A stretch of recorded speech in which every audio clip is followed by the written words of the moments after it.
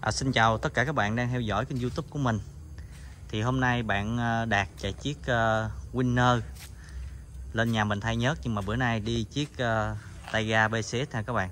Mình mới vừa thay nhớt với lại uh, rửa xe bằng một cái dung dịch Rửa xe mới mình đang test. Đó, Thì sau khi mà rửa thì cũng khá là bóng. À, Quay lại chủ đề chính của video clip ngày hôm nay á Là mình cũng uh, nổ máy lên cho bạn Đạt nghe thử cái tiếng ờ, xe MT09 mới. Thì uh, bạn nào mà đi MT09 á, thì chắc cũng biết là mỗi buổi sáng hoặc là mình để xe lâu mà mình không có sử dụng á mình nổ máy lên là các bạn sẽ nghe cái tiếng lạch sạch lách chách ở trong máy xe nó không được êm. Thì cái vấn đề này á các bạn cũng đã hỏi ở hãng rồi. Thì hãng nói là chiếc MT09 nào nó cũng kêu y vậy thì ngay cả bản thân của mình, khi mà mình sở hữu chiếc xe này, mình cũng thấy nó khó chịu và cũng lăn tăng không biết là xe mình có bị cái vấn đề gì hay không. Tại vì lúc đầu tiên là xe nó mới và cho tới thời điểm hiện tại á, thì sau khi kết thúc cái hành trình mà 2.000 cây, thì cái xe mình nó vẫn kêu y chang vậy. Thì mình nghĩ đó là chắc là đặc trưng của cái dòng xe này. Máy nó không được êm, nhưng mà không phải các bạn. Hồi lúc nãy á, mình đổ một tí xíu lưu chem tăng ốc tan vào trong cái xe cái xăng của xe mình. À, cũng còn ít thôi cho nên là mình đổ ờ, hai ba nắp gì đó. Cũng còn ít xăng trong mình lắm cho nên mình đổ hai ba nắp thử thôi. Coi là có đúng với lại cái cái vấn đề mà mình đang suy nghĩ là cái xăng nó không có uh, đủ cái ốc tan nó làm cho cái uh, độ nén trong động cơ nó không có đạt thì cái máy xe mình nó bị kêu. Thì sau khi mà đổ uh, một ít ốc tan vào đó mình lắc đều cái bình xăng lên. Mình nổ máy xe thì trong tầm khoảng cỡ 10 giây bắt đầu là cái xe của mình đó, nó im hẳn luôn các bạn. Tức là nghe cái tiếng nổ nó im mà nó đều cái máy xe hẳn luôn.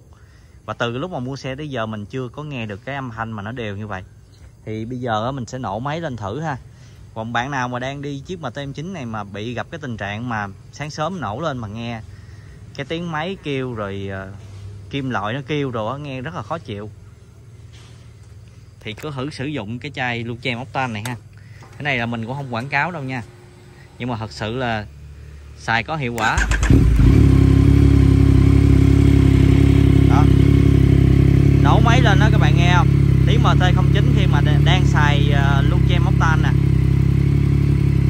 Đó các bạn nghe nó nó vẫn có một cái tiếng kêu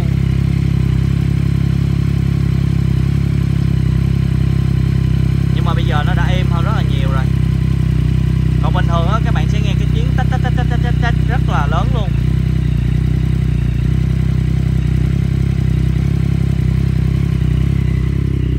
bây giờ ga thử nha.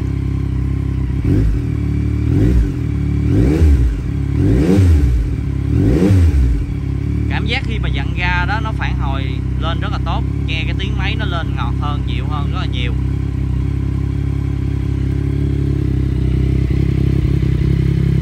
Xe của ờ, chiếc MT09 uh, ờ, phiên bản mới này thì nó là tiêu chuẩn khí thải Euro 5 à, chứ không phải là như những cái dòng xe mà bình thường khác. Ví dụ như là những cái dòng xe mà cách đây 2016, 17, 18, 19 á, thì thường á, tiêu chuẩn khí thải cao lắm là Euro 3 hoặc Euro 4 thôi. Nhưng mà những cái dòng xe mà hiện đại sau này á, các hãng từ ô tô cho tới xe máy thì thường theo cái tiêu chuẩn khí thải Euro 5 thành ra là đổ xăng nó không có đủ cái ờ, ốc tan hoặc là cái chất lượng xăng nó không có đảm bảo là cái máy xe của mình nó sẽ kêu rất là nhiều. Đồng thời là các bạn chạy dặn ga cảm giác nó ì. Thì chỉ có một cách trong thời điểm hiện tại mà có thể là khắc phục được cái vấn đề này đó chính là cái chai Luchem tăng octan và những cái dòng sản phẩm mà tăng octan. tuy nhiên khi xài cái chai này không phải là nó uh, gọi là siêu phẩm là đổ vô là được. Rồi các bạn cần phải sử dụng nó đúng cái liều lượng của cái sản phẩm nó quy định ví dụ như cái chai này nó 250ml đi thì nó sẽ xài cho 60 lít xăng. Thì tương đương với một lít nó tầm khoảng cỡ 4ml 40 lít dung dịch. Thì cái xe của mình 14 lít thì xài đâu đó cỡ khoảng 50 50 ml. Thì một chai 250 thì mình có thể là sử dụng được cho 5 bình xăng đầy của chiếc MT09 à, trên xe ô tô á, thì các bạn xe xăng á, thì các bạn sẽ sử dụng là một chai luôn cho khoảng 60 lít xăng. Hoặc ví dụ như xe của các bạn là nó lên tới 80 lít đi thì một chai 60 lít các bạn vẫn đổ vô được ha hoặc chạy được luôn. Sử dụng một chai không cần phải sử dụng thêm. Đó.